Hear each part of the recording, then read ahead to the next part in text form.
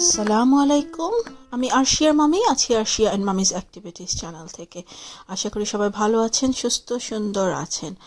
যেহেতু কোরবানির ঈদ দরজায় একদম কড়া নাড়ছে, তো কোরবানির ঈদের স্পেশাল দুটি খাবার রেসিপি নিয়ে আসছি। ঠিক আমি যেভাবে করি, তো কোরবানির ঈদ মানেই তো একটু মজাদার কিছু খাওয়া, মাংস, পায়া, নিহারি এগুলো। তো আমি আজকে যা নিয়ে আসছি আর কিছু নয় নালি নিহারি বা পায়া। যেটা কিনা আমি পাকিস্তানি স্টাইলে করছি।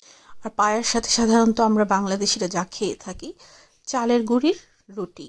তো দুটো রেসিপি থাকছে, আপনারা দেখতে থাকুন, আশা করি ভালো লাগবে।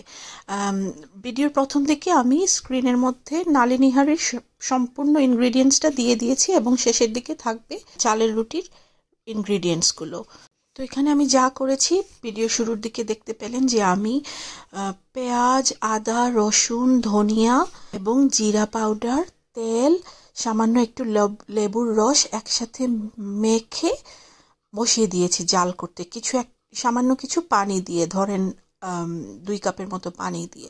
তো এটা আধা ঘণ্টার চেয়ে কিছু কম জাল হওয়ার পরে আমি টক দইটা মিশিয়ে দিয়েছি এবং যথাক্রমে শানের পায়া মশলাটাও মিশিয়ে দিয়েছি।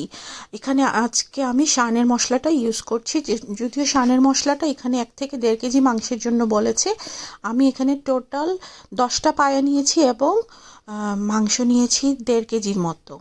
তো যার জন্য আমি কিছু এক্সট্রা মশলা দিয়েছি। তারপরে যখন আরও কিছুক্ষণ জাল হলো, মশলাটা দেওয়ার পর নেড়ে চেড়ে আমি আরও পনেরো থেকে বিশ মিনিট জাল হওয়ার পরে আমি মরিচ গুঁড়ো, হলুদ গুঁড়ো দিয়ে দিলাম। তারপরে দুই চামচের মতো পাপরিকা পাউডারটা দিয়েছি। পাপরিকা পাউডারটা সম্পূর্ণই আমি রঙের জন্য দিয়েছি, যেহেতু আমি খুব বেশি একটা ঝাল দিচ্ছি না গুঁড়ো মরিচের পরিমাণটা কম দিয়েছি। তাই পাপরিকা পাউডার দেওয়াতে কালারটা খুব সুন্দর আসবে। তো যাই হোক, সব দেওয়ার পর নেড়ে চেড়ে আরও কিছুক্ষণ জাল করতে দিব। দই এবং লেবুর রসের কারণে এটা সেদ্ধ হতে সাহায্য করবে তাড়াতাড়ি। তারপরে আমি এখানে যে কারণে পাকিস্তানি স্টাইল বললাম, সেটাই করছি।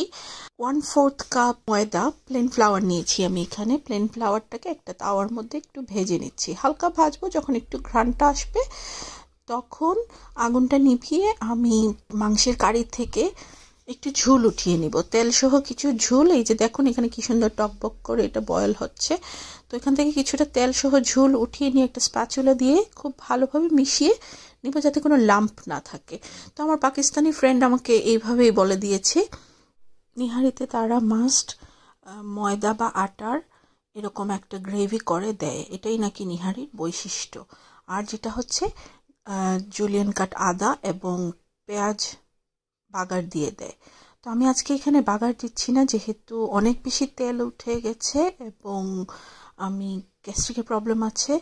তো বাগার না দিয়ে আমি গার্নিশিংয়ের সময় জুলিয়ান কাট আদা, অনেকগুলো, আর ভাজা পেঁয়াজটা দিয়ে সাজিয়ে নিব। তো এটা দেওয়ার পরে আমি আরও বেশ কিছুক্ষণ জাল দিলাম, আধ পনেরো থেকে বিশ মিনিটের মতো জাল দিলাম এবং মাঝে খুব নাড়তে থাকলাম। যেহেতু গ্রেভিটা ময়দার, হয়তো নিচে বসে, নিচে একটা লেয়ার হয়ে যেতে পারে। তো এই হচ্ছে ফাইনাল লুক মাশাআল্লাহ, আলহামদুলিল্লাহ অনেক সুন্দর হয়েছে এবং স্লো পাঁচ সাত মিনিট স্লো রাখাতে উপরে অনেক তেল ভেসে উঠেছে। আমি কিছুটা তেল উঠিয়ে নিচ্ছি, কারণ এখানে অনেক তেল খাওয়াটা স্বাস্থ্যসম্মত হবে না। আশা করি আপনাদের সবার ভালো লেগেছে আমার এই ডিফারেন্ট স্টাইলে করা পায়াটা। দেখুন কতটা তেল উঠিয়ে নিলাম। কাপের মতো তেল উঠালাম, তারপরেও অনেক সুন্দর কালার ছিল এবং অয়েলি ছিল। তারপরে নেক্সট রেসিপিতে চলে যাচ্ছি, যেটা হচ্ছে চালের আটার রুটি। এটা হয়তো অনেকেই জানেন, আমি খুব বেশি দিন আগে শিখিনি, নতুন শিখেছি এটা। তো যার জন্য রেসিপিটা দিচ্ছি, হয়তো আমার মতো নতুন কারও। উপকারে আসবে। এখানে আমি আড়াই কাপ পানি এই মগ দিয়ে ইউটিউব মগ দিয়ে আড়াই কাপ পানি নিয়েছি। আড়াই কাপ পানিকে বয়েল তুলে সামান্য একটু লবণ এবং তেল দিয়ে পরিমাণটা একটু পিছনের দিকে ইনগ্রিডিয়েন্টস স্ক্রিনে লেখা আছে। তো দিয়ে বলক ওঠার পরে আমি এই কাপ দিয়ে আড়াই কাপ রাইস ফ্লাওয়ার বা চালের গুঁড়ি দিয়ে দিয়েছি এবং এইভাবে একটা খুন্তির পিছনের দিক দিয়ে, হাতার দিক দিয়ে নেড়ে দিলে সুন্দরভাবে মিশে যায়। নেড়ে, ভালো মতো পানিটাকে মিশিয়ে ঢাকা দিয়ে রেখেছি পাঁচ থেকে সাত মিনিটের মতো। তারপর গ্যাস অফ করে আরও কিছুক্ষণ ঢাকা দিয়ে রেখেছি। এবং একটা বড় ছড়ানো বোলের মধ্যে নিলে তাড়াতাড়ি ঠান্ডা হয়ে যায়। এটা খুবই গরম ছিল, খুব সাবধানে করতে হবে। যার জন্য আমি এই মাগটা দিয়ে করে নিচ্ছি যাতে আমার হাতটা গরম থেকে বেঁচে যায়। তো এভাবে করার পর যখন একটু ঠান্ডা হয়েছে, তারপর হাত দিয়ে ভালো মতো মেরে নিয়েছি। চালের রুটি খাওয়া খুবই মজা। বানানোটা ঠিক ততটাই কঠিন। কঠিন এই কারণে বলছি কাইটা করতে খুবই কষ্ট হয়, হাতে অনেক ব্যথা করে। তো যাই হোক এইভাবে সুন্দর করে এবং খুব ভালো করে মাখতে হয় কিন্তু কাইটাকে। তো মাখামাখি পর পর আমি চালের আটাগুলোকে বেশ কিছু লেচি কেটে নিয়েছি যাতে বেলতে খুব সুবিধা হয়। চালের রুটি দিয়ে মাংসের তরকারি বা কোরবানি ঈদের সময় মাংসের সব আইটেমগুলো খাওয়া অসাধারণ লাগে। মানে কোরবানি ঈদে চালের রুটি, মাংস ছাড়া সকালের নাস্তা জমেই না। আমাদের সেই ছোটবেলার থেকেই চলে আসছে আমাদের বাসায় আম্মু অনেকগুলো রুটি বানিয়ে রাখতো। যেহেতু আমরা এক্সটেন্ডেড ফ্যামিলি ছিলাম, অনেকগুলো রুটি বানানো হতো ঈদের দুই দিন, তিন দিন আগের থেকে এবং পায়া দিয়ে সাতকড়া দিয়ে বা গরুর মাংসের ঝুল, এরকম অনেক কিছু থাকতো। তো যাই হোক আমি এভাবে করে লেচি কেটে রুটিগুলো করে নিলাম এবং এখানে দুটো সংরক্ষণ পদ্ধতি দেখাচ্ছি। এক হচ্ছে পরোটার রাপার্সগুলোকে রেখে দিয়ে একটা একটা করে পরোটার মতো ফ্রিজে রেখে দিলে অনেক দিন ভালো থাকে এবং তাও দিয়ে খাওয়ার পর ফ্রেশ মনে হয়। আর সেকেন্ডটা হচ্ছে হালকা শেকা দিয়ে ঠান্ডা করে ফ্রিজে রেখে দেয়া। তো এই হচ্ছে আমার মানচিত্র শেপের একটা রুটি। ভালো শেপেরগুলো আমি তুলে রেখে দিয়েছিলাম, আর যেগুলো একটু মানচিত্রের মতো হয়ে গেছে, ওগুলোকে আমি সেকে খেয়ে নিলাম। তো ব্যাপার না, এগুলো খেতে মজা হলেই হলো। কিছুটা মানচিত্রের মতো হয়ে যায়। যেহেতু অনেকগুলো অনেকগুলো পেলেছি তো রুটিটা কিন্তু খুব সুন্দর, পাতলা সফট হয়েছিল এবং খুব সুন্দর ফুলে উঠেছিল।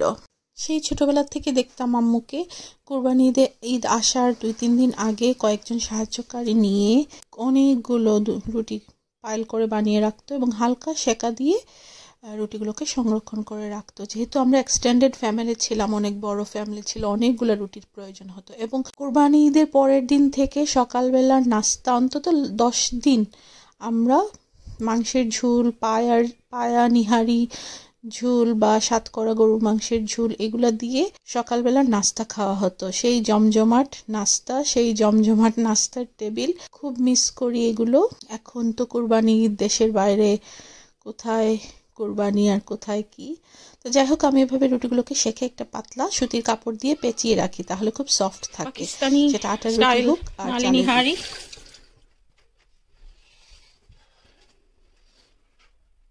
আর বাঙালি স্টাইল চালের আটার রুটি। আমার হাজবেন্ডের ব্রেকফাস্ট স্পেশাল ব্রেকফাস্ট লিটন বাই তো এই ছিল আমার আজকের রান্নাবান্না রেসিপি আশা করি আপনাদের ভালো লেগেছে। তো লিটন ব্রেকফাস্টে খেয়ে যা এক্সপ্রেশন দিল দেখুন। আলহামদুলিল্লাহ। লিটনের তো খুবই মজা লেগেছে।